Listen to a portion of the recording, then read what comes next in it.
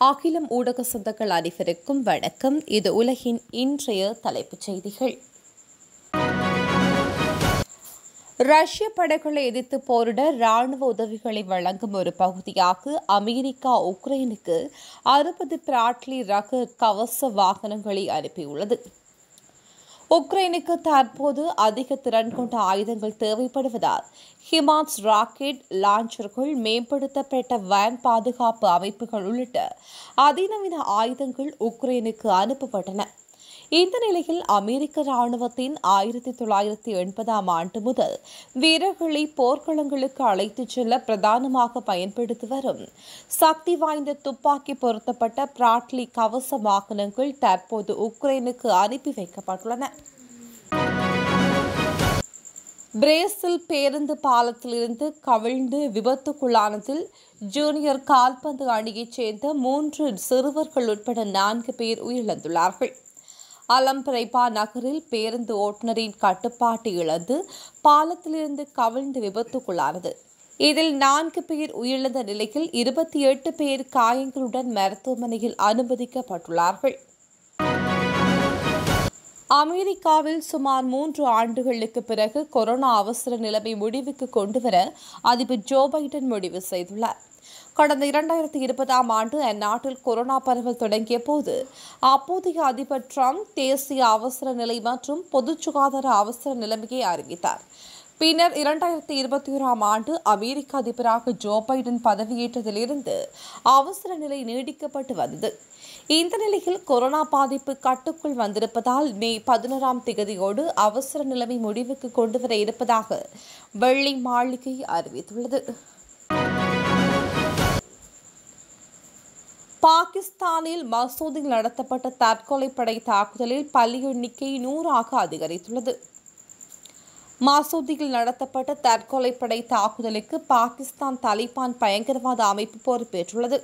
பாகிஸ்தான் தலிபான் பயங்கரவாத அமைப்பின் தளபதி Umar Khalid Khurasani கடந்த ஆண்டு ஆகஸ்ட் மாதம் ஆப்கானிஸ்தானில் நடத்தப்பட்ட தாக்குதலில் உயிரிழந்ததுக்கு பழிவாங்கும் வகையில் மசூதியில் தற்கொலைப்படை தாக்குதல் நடத்தப்பட்டதாக உமர் காலித் குராசனியின் சகோதரர் தெரிவித்துள்ளார்.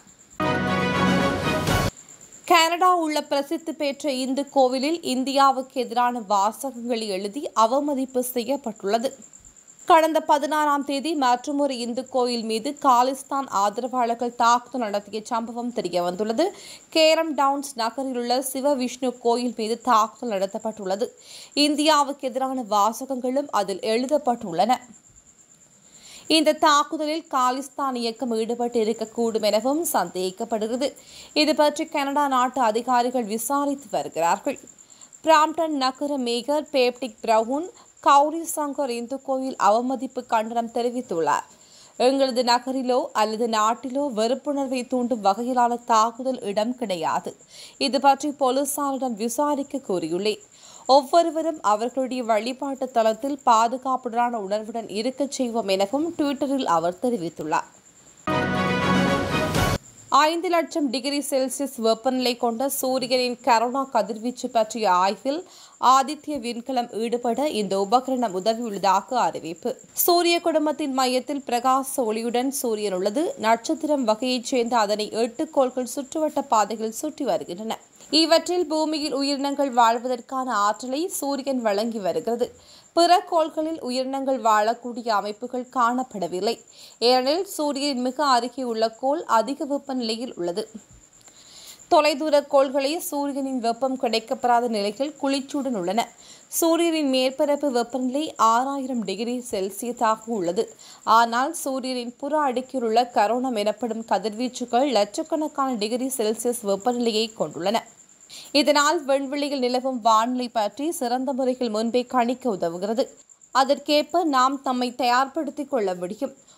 ஒருவேளை சூரியனிலிருந்து ஆபத்து விளைவிக்கும் அளவுக்கு கொரோனா கதிர்வீச்சுகள் வெளியேறினால் விண்வெளியில் உள்ள நமது சொத்துக்களை பாதுகாத்துக் கொள்ள முடியும். இதற்காக இந்த கணிப்பை மேற்கொள்ள இந்த கொரோனோகிராஃப் உதவி புரியும் எனவும் அவர் கூறியுள்ளார். கதிரியக்க கருவிகளை தொலைத்துவிட்டு தேடும் ஆஸ்திரேலியா நாணயத்தை விடவும் சின்னதாக காணப்படுகிறது. ஆஸ்திரேலியாவின் ஒரு நாணயத்தை விடவும் மிகச்சிறிதான கதிரேக்க கருவியை தொலைத்துவிட்டு பல்வேறு துறையினரும் அதனை தேடும் பணியில் ஈடுபட்டுள்ளார்கள். சுரங்கத்திலிருந்து ட்ரக் வழியாக பொருட்களை வேறிடத்திற்கு எடுத்துச் சென்ற போது மிகவும் முக்கியமான கதிரேக்க கருவி காணாமல் போனதாக தகவல்கள் வெளியாகியுள்ளது. ஆஸ்திரேலியாவில் இந்தியர்கள் மீது காலிஸ்தான் ஆதரவாளர்கள் தாக்குதல் இருவர் கைது. ஆஸ்திரேலியாவில் இந்தியர்கள் காலிஸ்தான் ஆதரவாளர்கள் தாக்கிய சம்பவத்தில் இருவர் காயமடைந்தனர். இது தொடர்பான காலிஸ்தான் ஆதரவாளர்கள் இருவர் கைது செய்யப்பட்டுள்ளார்கள்.